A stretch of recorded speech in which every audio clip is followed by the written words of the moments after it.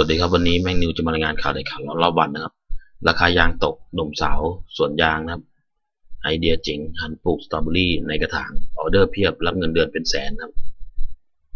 เมื่อวันที่ 6 มกราคม 259 ผู้สื่อข่าวรายงาน รับทราบว่านายสมพิษชูสังอายุ 48 ปีชาวตำบลพิมานอำเภอนาแก่จังหวัดนครพนมเกษตรกรชาวสวนยางที่กำลังประสบปัญหาราคายางตกต่ำมานานเกือบ2 ปี ต้องแบกภาระต้นทุนและหนี้สินในการทำสวนยางจนกระทั่งเกิดแนวคิด จากการไปศึกษาดูงาน ก่อนหันมาทดลองปลูกสตรอเบอรี่ผลไม้เมืองหนาว เพื่อหาทางสร้างรายได้ชดเชยเพราะมองว่าเป็นผลไม้ที่หายาก และมีราคาแพง หากสามารถเพาะปลูกดูแลได้จะสร้างรายได้อย่างแน่นอน จึงเดินทางไปตรวจสอบ ผู้สื่อข่าวเดินทางไปที่บ้านเลขที่ 127 หมู่ 6 บ้านดอนพัฒนาตำบลพิมานอำเภอนาแกจังหวัดนครพนม เพื่อพบกับนายสมพิษชูสังอายุ 48 ปีเกษตรกรที่หันมาปลูกสตรอเบอรี่ นายสมพิษกล่าวว่าเริ่มทดลองปลูกมาตั้งแต่ปี 256จนถึงปัจจุบัน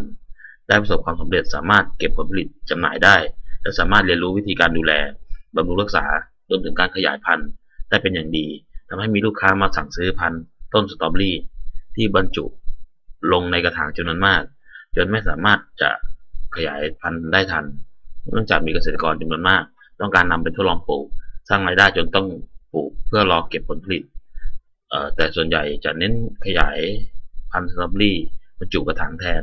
ซึ่งใช้ระยะเวลาเพียงแค่ 1-2 เดือน สามารถขายได้กระถางละประมาณ 120-150 บาท โดยในช่วงเดือนที่ผ่านมาทำให้มีรายได้เดือนละเป็นแสนครับนายพิษกล่าวต่อว่าเดิมทีนะครับตนมีอาชีพทำสวนยางพารา มีสวนยางพาราประมาณ 20 ไร่ปลูกมาประมาณ 10 ปี แต่ประสบปัญหาราคาตกต่ำมานานเกือบ 2 ปี ส่งผลให้แบกภาระต้นทุนค่าใช้จ่าย จึงตัดสินใจทำอาชีพเสริม นอกจากจะเป็นช่างซ่อมยังได้หันมาศึกษาปลูกสตรอเบอรี่ผลไม้เมืองหนาว เนื่องจากคิดว่าจะขายได้ราคาดี เพราะเป็นที่นิยมของตลาด ก่อนหันลงมือปลูกที่จากที่เคยไปศึกษาดูงาน และใช้วิธีการเรียนรู้ด้วยตนเองจนกระทั่งประสบความสำเร็จปีที่ผ่านมา สามารถเก็บผลผลิตส่งขายได้ อีกทั้งมีการขยายพันธุ์เอง โดยการเพาะทำต้นกล้าสตรอเบอรี่ใส่กระถางใช้เวลาประมาณหนึ่งเดือน ถึงลำต้นของสตรอเบอรี่จะออกรากติดกับกระถาง เพาะชำขนาดเล็กก่อนนำลงดินบรรจุในกระถางใหญ่ ดูแลใส่ปุ๋ยรดน้ำประมาณหนึ่งเดือน รวมระยะเวลาประมาณ 2 เดือน จนก้าพันธุ์มีความแข็งแรง สามารถขายก้าเพาะชำต้นสตรอเบอรี่ได้แล้วในราคา ประมาณกระถางละ 120-150 บาท และมีเกษตรกรมีความสนใจมาสั่งซื้อจำนวนมากทำให้ไม่พอขายและไม่ต้องรอถึงเก็บผลผลิตนะครับ ส่วนระยะเวลาในการปลูก ต้นสตรอเบอรี่จะใช้เวลาปลูกประมาณ 3-4 เดือนจะออกผล สามารถเก็บผลผลิตได้ทั้งนี้ ขึ้นอยู่กับการดูแลและสภาพอากาศ ซึ่งจะออกผลปีละครั้งในช่วงฤดูหนาว ส่วนใหญ่จะปลูกพันธุ์พระราชทาน 80 ที่นำมาจากภาคเหนือ ซึ่งการดูแลนั้นไม่ยากเท่าที่ควร แต่ต้องมีเวลาดูเอาแลเอาใจใส่มันลดน้ำใส่ปุ๋ย จะทำให้ผลผลิตออกดี แต่ส่วนใหญ่ต้นไม้ ได้ทันเก็บผลผลิตมีลูกค้ามาสั่งซื้อกล้าพันธุ์จำนวนมากจนผลิตไม่ทัน ปัจจุบันมีออเดอร์สั่งประมาณ10,000ต้น ในอนาคตจะมีการพัฒนาทำแปลงดินปลูกนอกเหนือจากการปลูกลงกระถางเพื่อให้เกษตรกรที่สนใจมาศึกษาเยี่ยมชม และสามารถนำไปทดลองปลูกได้ เชื่อว่าอาชีพปลูกสตรอเบอรี่จะเป็นอาชีพการเกษตรทางเลือกใหม่ ที่สร้างรายได้ให้กับเกษตรกรอีกทาง เพราะเป็นผลไม้ที่มีความต้องการของตลาดภาคอีสานสูง ราคาผลผลิตสูงถึงกิโลกรรัมละประมาณ 300-350 บาท ส่วนเรื่องสภาพอากาศ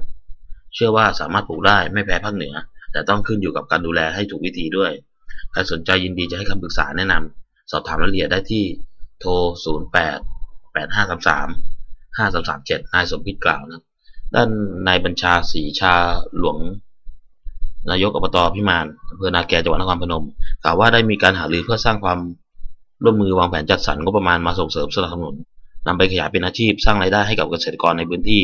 รวมถึงหาแนวทางพัฒนาต่อยอด ปรับพื้นที่ปลูกทำสวน แทนการปลูกในกระถาง เพื่อเป็นการส่งเสริมทางการเกษตรทางเลือกใหม่ให้เกษตรกรในพื้นที่ ได้มีอาชีพมีรายได้เพิ่มขึ้น นอกจากนี้ยังได้วางแผนงานยกระดับให้